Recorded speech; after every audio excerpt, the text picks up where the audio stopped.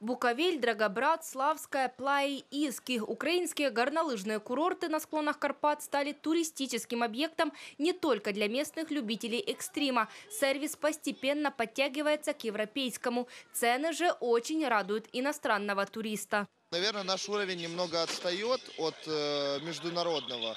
Э, единственный курорт, который, собственно, дотягивает до этого уровня, это Буковель. С этого года стало очень много поляков ездить туда, итальянцев, э, потому что как бы разница в курсе им на руку.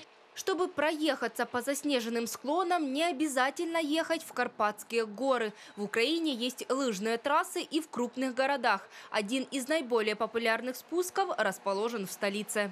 Самая главная особенность нашего курорта, он находится в центре города Киев, в центре столицы.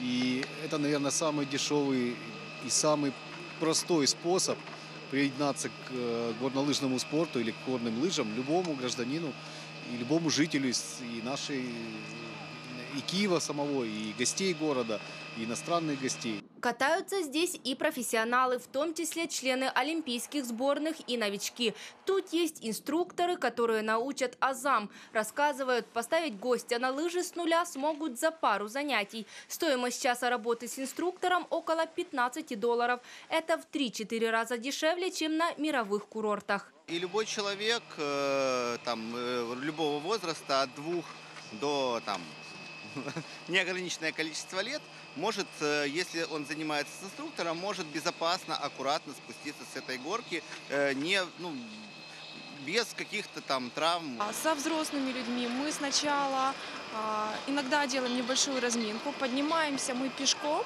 А, сначала мы учим тормозить плугом, Потом мы учим, объясняем про одну ногу, вторую ногу, давление, повороты. Учим ездить поворотами, идем пешком вверх, держим человека, чтобы он не упал, спускаемся вниз.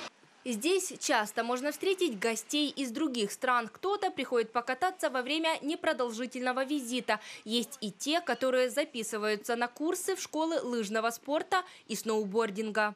Семья американцев у нас и не одна ходит всей семьей заниматься. Э, семья немцев ходит заниматься. А, были арабской национальности, приезжие. Очень часто в выходной день можно увидеть, как у нас тут группами учатся индусы, э, арабы опять же. Э, я уже не говорю про страны, которые близко к нам расположены. Вот, например, вчера я тренировал девушку э, из Шотландии. Самые экзотические ребята это были арабы, были из Ливии, были из Египта. Они приходили, было безумно интересно, они первый раз вставали на лыжи и говорили, когда с ними общались, что для них э, раньше они занимались на борде, спускались по дюнам, а теперь наконец-то спустились по настоящему снегу. Преимущество городского лыжного отдыха – цена. Тут кататься в 4-5 раз дешевле, чем в горах. С Австрии мы там катались, кстати, не очень. А, абонемент, дневной абонемент, чтобы покататься в Австрии на обычном курорте, стоит 50 евро. Это с 8 до 4.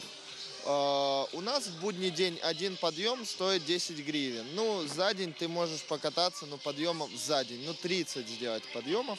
Собственно говоря, это 300 гривен, это совершенно другие деньги. Экипировку для катания можно взять на прокат прямо на горнолыжном комплексе, но дешевле в ближайшем магазинчике.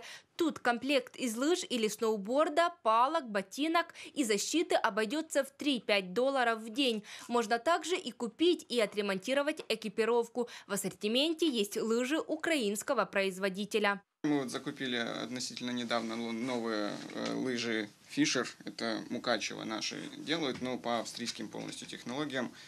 Э, ну, производится в Украине. В принципе, конкурентоспособна как ко всем э, маркам. Получается в районе 100-150 евро среднего класса лыжи. Катание весь день с арендой снаряжения и индивидуальным занятием с инструктором в Киеве обойдется в 30 долларов на человека. На курортах в Карпатах то же самое стоит уже в два раза дороже. Но не стоит забывать, что бронировать жилье в горах нужно заранее и заплатить за него в сезон можно в несколько раз больше, чем за отель в центре столицы. Юлия Крючкова, Дмитрий Гришко, UATV.